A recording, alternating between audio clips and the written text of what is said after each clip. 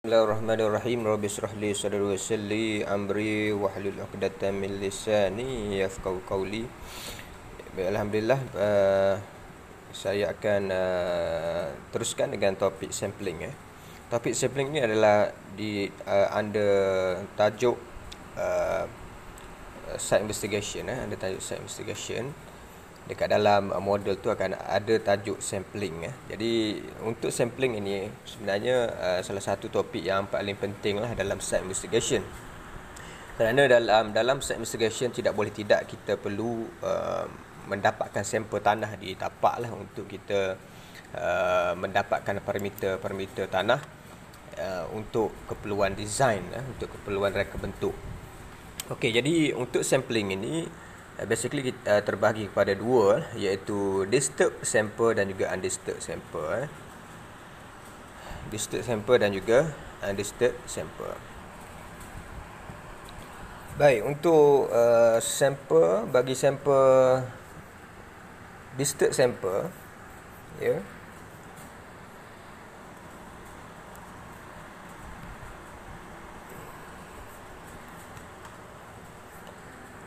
Ini adalah district sample. Untuk district sample ni biasanya uh, dia punya kriteria sampel tersebut maknanya dia punya sampel tersebut telah terganggu dari segi dia punya sifat dia lah. Alter original criteria dari segi moisture content dari segi dia punya uh, density dia telah pun terganggu eh. jadi biasanya diambil oleh uh, auger ataupun boring machine Okey, jadi uh, biasanya district sample ini, okey, district sample ini digunakan untuk uh, uji kaji seperti plastic limit, liquid limit, okey, specific gravity dan juga shift analysis lah. Okey, manakala untuk undisturbed sample, uh, dia punya sifat dia almost same with original condition. Dari segi dia punya moisture content, dari segi dia punya density dia almost same with original condition eh. Jadi tujuannya biasanya digunakan untuk mendapatkan mendapatkan uh, shear strength eh mendapatkan shear strength mendapatkan compressibility permeability. Okey? Dan biar kebiasaannya uh, kita boleh ukur dia punya disturbance eh disturbance of the soil calculation in term of the area uh, ratio AR jadi kita boleh ukur sebab uh, undisturbed sample ini kita tidak boleh uh, nak katakan sebagai 100% uh, tidak terganggu lah tak boleh. Tapi kita boleh control dia dengan menggunakan uh, disturbance disturbance uh, calculation eh. Disturbance of soil calculation in term of the area of ratio. So yang ini kat sini. Kita akan tengok apakah formula yang terlibat untuk yang ini. Okey. Jadi kita pergi yang uh, ini adalah dia punya formula uh, area ratio eh. Yang mana AR itu adalah area ratio AR okay, AR itu adalah area ratio. Okay, DI itu internal internal diameter of the sampler. Okay, DE adalah external diameter of the sampler. Okay, for nominal disturbance the value of area ratio shall uh, below than 20% jadi kita untuk nominal ya untuk nominal mana kita kena pastikan kita punya ya, kita punya apa nama uh, disturbance uh, percentage itu mestilah kurang daripada 20% ya.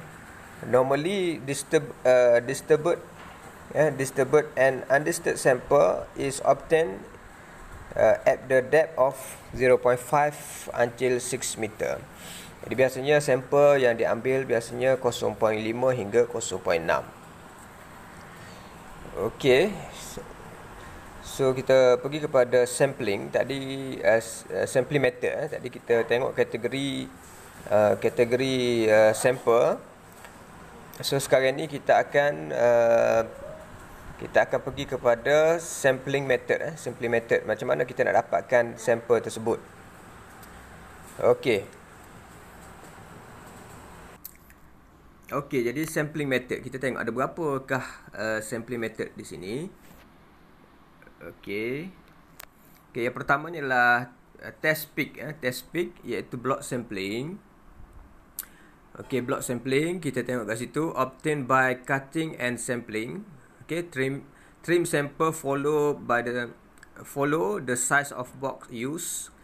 Okay, cut base uh, carefully wrap and label. Okay, jadi sampel tersebut dia akan trim lah. Dia akan trim mengikut uh, size yang kita kehendaki lah. Okay, keep and cover by Farapin. Kemudian selepas kita dah trim, uh, mengikut size box yang kita kehendaki ataupun uh, mengikut uh, testing kita. Yang special kat sini untuk test pick ini kita boleh uh, mendapatkan unlisted sample mengikut size yang kita kehendaki. Mungkin kita ada buat satu apa uh, uji kaji uh, modeling dan sebagainya memerlukan sampel unlisted sample. Jadi kita boleh pakai test pick uh, block sampling.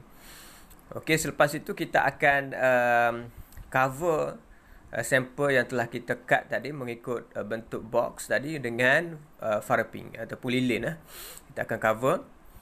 Okey, place in airtight container. Kemudian kita akan letak di dalam container yang yang uh, airtight lah, uh, kedap uh, kedap udara. Okay, stiff and weather rock. Okay, stiff and weather rock require big sample because of disturbance. Sample take from try pick. Okay, biasanya untuk stiff dan juga weather rock ni uh, memerlukan uh, sampel yang besar. Okay. Okay, jadi uh, untuk test pit ni sesuai lah untuk kita dapatkan sampel tersebut. Okay, advantage, bigger size of soil sample can be obtained. Disadvantage, time consuming, costly, experienced technician needed special attention needed and sample might be disturbed by excessive pressure during handling due to its size. Okay, so yang inilah dia punya uh, dis disadvantage. Okay. So method yang kedua adalah thin wall sampler. Eh. Thin wall sampler. So kita boleh tengok dekat sini. So okay, uh, thin wall sampler. Eh. Jadi inilah bentuk thin wall uh, sampler. Eh okay, wall sampler okay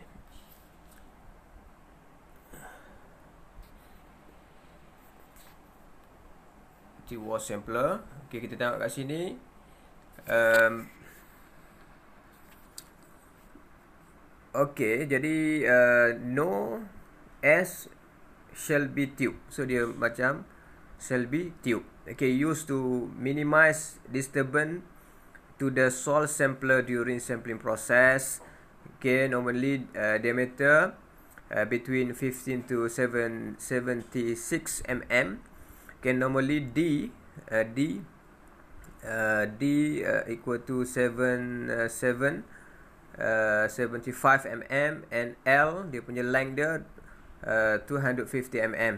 Okay, biasa yang kita guna adalah 75 diameter dan juga 250 mm suitable for soft and stiff uh, grain uh, fine grain soil. Farapin wet placed at the both end of the tube sampler present loss of water content. Jadi selepas kita selepas kita ambil uh, sampel tersebut okey selepas kita ambil sampel tersebut okey jadi kita akan letak lilin pada uh, pada atas dan juga bawah ini untuk mengelakkan daripada kehilangan water content Okay, advantage easy to use, cheaper dan juga fast. Okay, lebih cepat lah. Disadvantage friction in tube uh, procedure degree uh, produce a degree of disturbance. Drill big, easy damage, uh, disturb sample at base. Okay. So, uh, anda boleh tengok lah eh, dia punya ni dalam nota ada. Eh. So kat sini dia ada uh, connection push road kemudian value of allow exist of free water and air above sample. So dia kena ada lubang ni kat sini supaya sample ni boleh masuk ya supaya sample sample kalau tidak ada lubang kat sini sample ni tidak boleh masuk lah ya. sample tak boleh masuk daripada sini. So ini ada thing well sampler tube. Okay, ni punya uh, drive leak connected to sampler tube with screw. Okey. Okay, uh, metod yang ketiga adalah Standard Penetration Test SPT Sampler. Ini biasa kita gunalah. Uh, SPT, SPT Sampler. Eh. Okay, jadi uh, dekat situ kita tengok, boleh tengok ya. Uh, obtain from split spoon sample. So, dia ada uh, menggunakan split spoon sample. Figure split spoon sample with uh, 6.84 kg or 0.07 kilonewton. So, ini adalah uh, split spoon eh split spoon uh, sampler uh, disturbed sample at beginning okey pada pemu- pada pada permulaan dia akan uh, disturb pada hujung itu okey use for classification process okey consider undisturbed at uh, at a greater depth due to dense soil condition okey consider undisturbed consider undisturbed at a greater depth due to uh, denser soil condition. Okay, sample take at take at every 1.5 uh, depth. Okay, sampler keep in airtight. So, sampel tadi kita perlu uh, letak di dalam bekas yang kedap uh, kedap udara. Eh. Okay, ini adalah Okey, yang keempat, yang keempat adalah open tube sampler. Eh. Open tube sampler biasa digunakan untuk stiff clay. Okey, uh, tube with internal with internal diameter. Internal diameter uh, 100 mm kemudian dia punya panjang dia adalah 450 mm. Advantage easy to use, fast and quick, cheap, able to extract bigger soil sample. Okay, manakala untuk uh, disadvantage hard, high area ratio uh, is about 30%, produce internal friction, uh, disturb sample at the base, difficult to control during penetration of sampler, quality of the sample depend on the experience of operator. Okay, Okey, yang kelima adalah measure sampler. Okey, measure sampler. The type of the sampler of free time. Okay, of the uh, the type of sampler with three time. Eh, with three time the size of other sampler with the core size of 7, 74 mm diameter and it need NH casing. Okay, pumped material contain uh, contain mixture of bentonite and mud. Okay, dia menggunakan material uh, bentonite dan juga uh, mud. Okay, uh, advantage less disturbance of sample has a stable sampling container, accurate control on the length and depth of sampler. This advantage high cost only experienced operator shall be shall do the sampling work. Okay, time cons uh, consuming, specific preparation is needed, continuous maintenance is mandatory.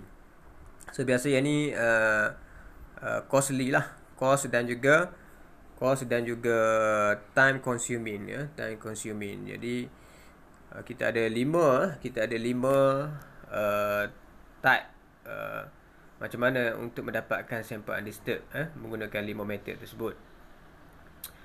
Okey. Jadi uh, untuk ni kita akan sambung kepada uh, video lain. So untuk yang sampler tadi kita ada yang pertama kita ulang kaji balik eh. Yang pertama tadi um, kita ada dua jenis uh, sampel iaitu undisturbed sampel dan juga disturbed sampel.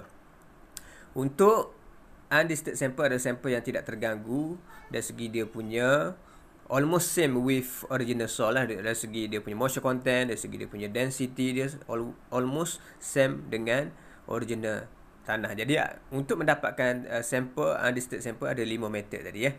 Ada lima method eh. Yang pertama tadi apa? Yang pertama tadi kita tengok balik. Yang pertama uh, yang pertama adalah test peak eh, block sampling. Yang kedua thin wall sampler. Yang ketiga standard penetration uh, test. Yang keempat open tube sampler, yang kelima measure sampler. Okey. Kemudian manakala untuk um, untuk apa?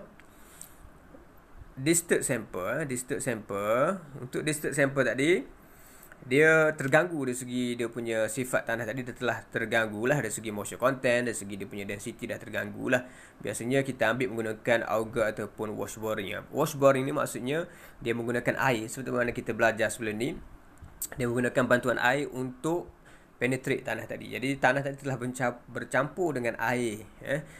Walau bagaimanapun sampel ini kita panggil disturb sampel. Ha, kita boleh gunakan sampel ini untuk uh, melakukan uji kaji plastik limit, liquid limit, eh, specific gravity, safe analysis di mana yang mana uh, untuk uji kaji ini memerlukan kita kena keringkan tanah tersebut eh. Kena kena keringkan tanah tersebut jadi tidak ada masalah kalau uh, dia punya apa nama sampel tadi uh, terganggu eh. So kita ada dua jenis uh, sampling disturbed dan juga undisturbed. Kemudian untuk undisturbed ada lima method untuk kita dapatkan sampel tersebut. Untuk memastikan uh, dia punya condition tanah tersebut uh, almost same with original condition. Jadi untuk itu uh, setakat ini saja sekian. Terima kasih.